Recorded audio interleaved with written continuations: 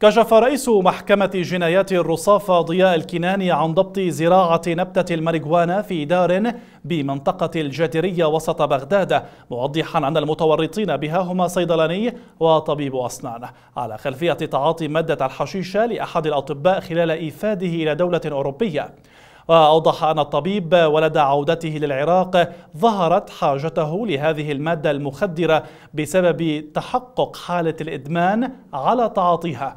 وبسبب الكلفة العالية لإرسال هذه المادة للعراق فكر بأن يتعلم زراعة النبتة عبر الإنترنت وأحضر أجهزة خاصة لها وزرعها بداخل منزل أحد أقاربه ونجحت زراعتها.